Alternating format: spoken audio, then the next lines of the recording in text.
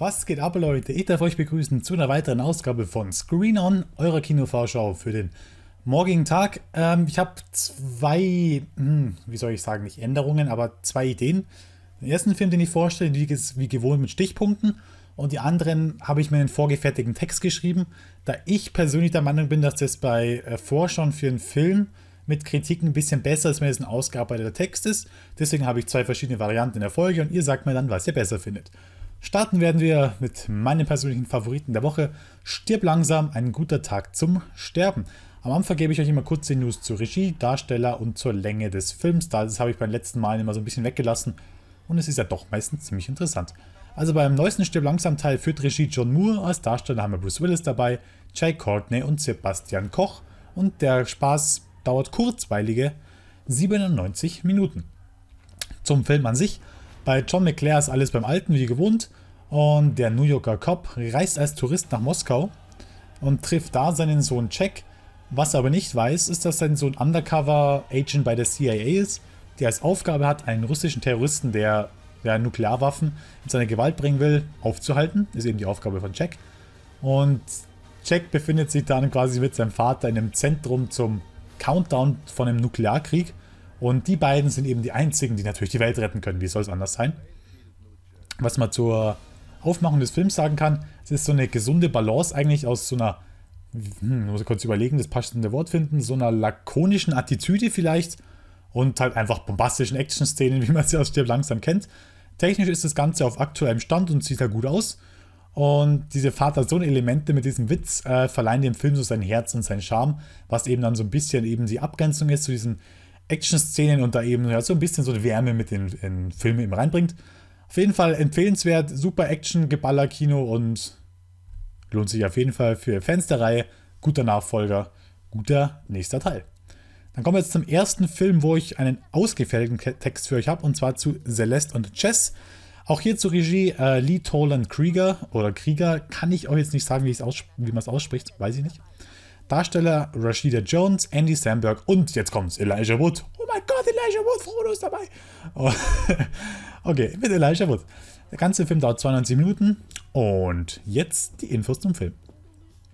Den oder die Ex zum Freund, ein Klischee für Klammeräffchen, als die coole Karrierefrau Celeste, Rashida Jones, und der erfolgslose Künstler Jess, Andy Samberg, nach ihrer Trennung wieder mit anderen zu daten beginnen und der verplante Jess plötzlich Vater wird, ändert sich ihr Status allerbeste Freunde grundlegend. Regisseur Lee Tolan Krieger, The Wish is Kind, setzt auf schlagfertige Dialoge, klugen Witz und Skurrilität, wenn er Celeste auf einen Selbstfindungstrip mit Yoga-Sessions, Kiffen und Alkohol schickt. Gefühle vermittelt er dabei in vielen Nahaufnahmen. Einer zärtlichen Abschiedsgeste, einem verzweifelten Lächeln, einem ironischen Augenzwinkern. Celeste and Chess ist eine Liebeserklärung an die Freundschaft und eine Anleitung zum Glücklichwerden. Denn gerade Selbstgerechtigkeit und Besserwisserei machen Celeste emotional blind. Erst als sie sich wieder positiv überraschen lassen kann, sieht sie, dass auch andere Mütter hübsche Söhne haben. Durch den Verzicht auf ein Happy End zeigt Toland zudem auf, dass wahre Freundschaft weder an Eifersüchteleien scheitert, noch vor einem Teller Algo-Omelette katipuliert. So klappt es auch mit der Scheidung. Also, ihr habt jetzt die Infos zum Film mitbekommen. Ähm, quasi so ein bisschen so eine Hommage an dieses ganze liebesgeschnulzen Zeug und eben halt einfach ganz klar dadurch, dass das Happy End fehlt, ist es auch eine klare Unterscheidung da zu anderen Filmen. Und natürlich dadurch, dass Elijah Wood dabei ist, haben wir hier auch eine ziemliche Größe, die wahrscheinlich auch viele Leute ins Kino locken wird. Allein dadurch, dass er dabei ist. Und wird auch von vielen Seiten ziemlich gut kritisiert, der Film. Also gute Wertungen bekommen. Also Wertungen gibt es ja noch nicht, ja gute Vorschau, wie soll ich sagen, Previews, ganz einfach. Und ist für diejenigen, die sich so für, für die Art, generell für die Art von diesen, ja, von so Liebes, Liebesfilm ist vielleicht falsch formuliert, aber wo es um Beziehungen geht, was nicht so ganz ernst genommen wird und halt so ein bisschen, ja, auch kritisiert wird, ist es ein ziemlich guter und empfehlenswerter Film. Kommen wir zu Film Nummer 3, den ich euch vorstellen möchte. Zu Ende der Schonzeit. Regie führt da Franziska Schlotterer, Darsteller sind Brigitte Hobmeier, Hans-Jochen Wagner und Christian Friedl. Der Film dauert 100 Minuten und jetzt gibt es auch wieder die Infos zum Film. Fritz hat ein klares Weltbild. Ich bin Bauer. Und wenn eine Kuh kalben soll, dann bringe ich sie zum Stier. Was in der Tierwelt funktioniert, wird am Ende des Zweiten Weltkriegs zum emotionalen Problem. Fritz Schwarzwaldhof leidet zwar kaum unter den Kriegswirren, nur dass der Knecht eingezogen wurde, macht dem Bauer zu schaffen. Und vor allem das Gerät im Dorf. weil Fritz junge Frau Emma einfach nicht schwanger wird. Beim Wildern im Wald trifft Fritz auf den entkräfteten Juden Albert. Und plötzlich bietet sich eine Lösung für die Probleme. Franziska Schlotterers Langfilmdebüt lebt von seinen Schauspielern, die theatererfahrenen Hans-Jochen Wagner, Christian Friedl und Brigitte Hobmeier liefern sich ein Gefühlsduell von atemberaubender Intensität. Die Inszenierung hält da nicht ganz mit.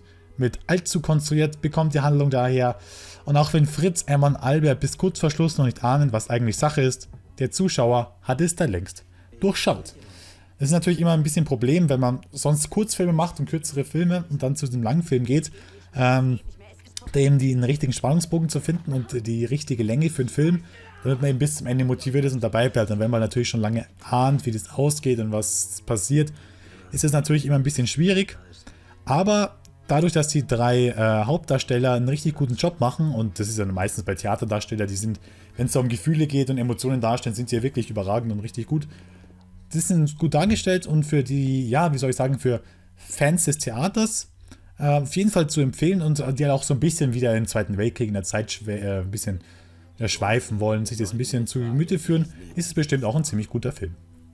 Dann kommen wir auch schon zum letzten Film, der ich euch länger vorstellen will. Dann kommt auch ein fünfter Film, aber zu dem habe ich nur einen Satz. Aber nicht, weil er schlecht ist. Dazu nicht. Aber da komme ich später dazu, ist jetzt egal. Okay, kommen wir zu Quellen des Lebens. Regie führt hier Oskar Röhler. Darsteller sind, jetzt kommt Jürgen Vogel, Merit Becker und Moritz Bleibtreu, also deutsche Prominenz. Und der Film dauert 173 Minuten. Auch hier jetzt was zum Inhalt, damit ihr wisst, um was es geht. Wenn sich das öffentlich-rechtliche Fernsehen mal was gönnen will. Man engagiert eine Schar bekannter Darsteller und lässt sie in einer deutschen Familiengeschichte stellvertretend und stichwortartig alle wichtigen historischen Marksteine abhaken. Warum nun ausgerechnet Oskar Röhler solche Bildungsfernsehen drehen muss, bleibt ein Rätsel. Von den Wiederaufbaujahren bis in den neobourgeoisen 70er Jahre führt sein Rundumschlag, in dem auch einige autobiografische Momente eingeflossen sind.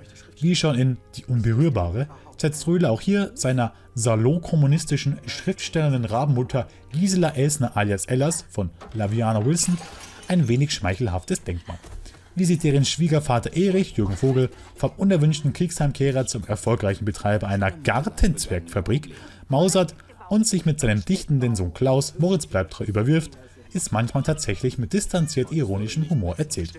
Auf einer Länge von 173 Minuten finden diese Quellen des Lebens allerdings kein wirkliches Zentrum und keine spannende Erzählhaltung. Sie bleiben leicht gutierbare ARD den Gelbdokus. Kennt man ja so, Außer, dass man statt Ghost vielleicht am Ende Kost sagen sollte, wenn man richtig lesen könnte, was ich anscheinend nicht kann. Ähm, natürlich sind die Darsteller gut ausgewählt, aber 173 Minuten ist ja schon bei einem richtig gut produzierten Film, also jetzt nichts gegen den Film, aber ich meine jetzt so bei, wo richtig krass Budget dahinter ist und Hollywood und was weiß ich, sind ja 173 Minuten da schon fast immer ziemlich lang. Und deswegen ist es klar, wenn wir davor schon haben bei einem 92-Minuten-Film, dass da gesagt wird, dass man es voraussehen kann und dass es träge wird, dass es ja fast doppelt so lang. Und da ist halt immer einfach schwierig. Aber eben für Fans des ARD Abendprogramms, und es sind ja doch gute Schauspieler mit Jürgen Vogel, Moritz Bleibtreu sind ja klasse Schauspieler, ähm, die Fans davon sind, ist es bestimmt auch zu empfehlen. Ähm, ich werde mir jetzt nicht anschauen, das kann ich an der Stelle sagen. Aber das ist natürlich euch überlassen. Kommen wir zum Film Nummer 5, den ich angekündigt habe, wo ich aber nicht so viel dazu sagen habe. Zwar kommt Findet Nemo in 3D in die Kinos. Film ist genau der gleiche. 3D-Effekt ja, ist halt da. Ob man braucht, ist die andere Frage. Natürlich für die, die jetzt vielleicht erst ins Alter kommen, um Findet Nemo zu schauen. Ähm, weiß nicht, ob das 3D überhaupt das Richtige ist. Aber da kann man halt das ganze, das ganze schöne Unterwasserabenteuer auch eben in 3D erleben. Und dann wären wir soweit durch. Was anderes kommt nicht in die Kinos, ähm, beziehungsweise nicht generell in die Kinos. Ich glaube, es gab noch einen sechsten Film, der ganz vereinzelt irgendwo kommt, aber den habe ich mir jetzt nicht mehr genau angeschaut. Dann danke ich auch wieder fürs Zuschauen. Lasst wieder euer Feedback da, wenn ihr euch irgendeinen Film davon reinzieht und ob euch gefallen hat und was nicht. Wie gesagt, und auch Feedback da lassen, ob ihr ausgeschriebene Texte haben wollt oder Stichworttexte. Dann danke fürs Zuschauen. Wir sehen uns beim nächsten Screen On wieder oder bei irgendeinem anderen Format. Ich bin zu weit raus. Euch, ciao und Servus.